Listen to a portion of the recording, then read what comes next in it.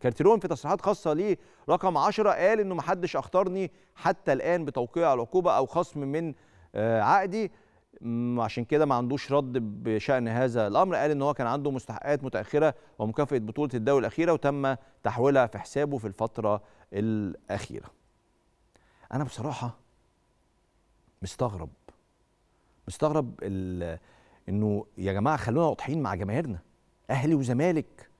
قول انت عايز إيه من البطولة. قول بشكل واضح مفيش مشكلة. قول لهم يا جماعة إحنا مش داخلين. على فكرة ريال مدريد ممكن يبقى داخل آه، كاس اسبانيا ويقول لك لا اصل ريال مدريد مش مهتم بالبطولة السنة دي هو مهتم بالدوري ودوري أبطال أوروبا. بشكل واضح. فيخش بقى يخسر من فرقة درجة تانية درجة ثالثه درجة رابعة الجماهير مش هتتكلم معاهم.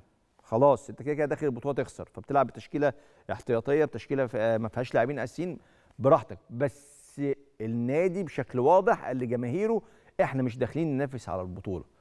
في الأهلي والزمالك ما بيقولوش بقى لا, قالوا بننافس ولا قالوا إن إحنا ما بننافسش هو سايبينك أنت إيه يمكن آه ويمكن لأ.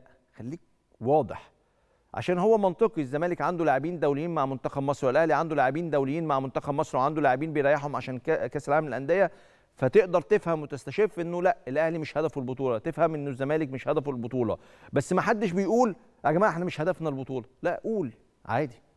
قول أنا داخل اجرب حاجات. فتخسر بقى ثلاثة من غزل المحلة تخسر اثنين من فاركو تتعادل هنا ماتش واثنين وثلاثه مش هيحصل حاجة قدام الجماهير عشان هم كمان مش هيبقى عندهم الهدف بتاع البطولة.